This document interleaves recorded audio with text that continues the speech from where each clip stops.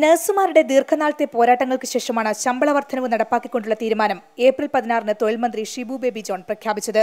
മേയിലെ ശമ്പളം മുതൽ ഇത് നിർബന്ധമായി നടപ്പിലാകും. കുടിശ്ശിക അതിന്റെ മുമ്പുള്ള നാല് മാസത്തെ കുടിശ്ശിക ഡിഫേർഡ് ബേസിസിൽ അവർക്ക് അതിനുള്ള ഫ്രീഡം കൊടുക്കും. സർക്കാർ നിയോഗിച്ച ഇൻഡസ്ട്രി റിലേഷൻഷിപ്പ് കമ്മിറ്റി മാനേജ്മെന്റുകളും നഴ്സിംഗ് സംഘടനകളുമായി നടത്തിയ നിരവധി ചർച്ചകൾക്ക് ശേഷമാണ് ശമ്പള വർധനവ് പ്രഖ്യാപിച്ചത്. പതിമൂവായിരത്തി അഞ്ഞൂറ് രൂപയായിരുന്നു അടിസ്ഥാന ശമ്പളം നിശ്ചയിച്ചത്.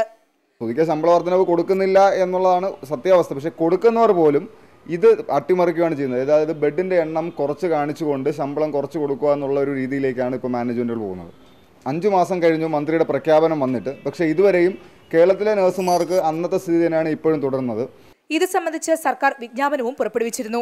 പുതുക്കിയ ശമ്പള നിരക്ക് രണ്ടായിരത്തി പതിമൂന്ന് ജനുവരി ഒന്ന് മുതൽ പ്രാബല്യത്തിൽ വന്നതായി കണക്കാക്കുമെന്നും വിജ്ഞാപനം പറയുന്നു. കിടക്കുകളുടെ എണ്ണമനുസരിച്ച് ശമ്പളം നിശ്ചയിക്കുമെന്നായിരുന്നു തീരുമാനം. വിജ്ഞാപനം ഇറക്കിയപ്പോൾ തന്നെ ഇതിലെ അപാകതകൾ നഴ്സിംഗ് സംഘടനകൾ ചൂണ്ടിക്കാട്ടിയിരുന്നു. ജനറൽ വാർഡുകളിൽ മൂന്ന് ബെഡുകളെ ഒന്നായി കണക്കാക്കുമെന്നാണ് വിജ്ഞാപനം പറയുന്നത്.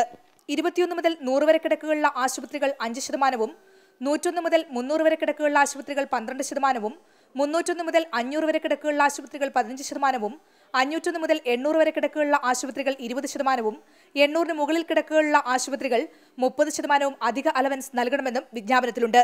പ്രഖ്യാപനമുണ്ടായി. നാല് മാസം കഴിഞ്ഞിട്ട് തൊണ്ണൂറ് ശതമാനം മാനേജ്മെന്റുകളും ഈ തീരുമാനങ്ങൾ നടപ്പാക്കിയിട്ടില്ല. ശമ്പള വർധനവ് നടപ്പാക്കിക്കൊണ്ടുള്ള സർക്കാർ പ്രഖ്യാപനം വന്നപ്പോൾ വർഷങ്ങൾ നീണ്ട നഴ്സിംഗ് മേഖലയിലെ ചൂഷണങ്ങൾക്ക് അറുതിയായെന്നായിരുന്നു പ്രതീക്ഷിക്കപ്പെട്ടത്.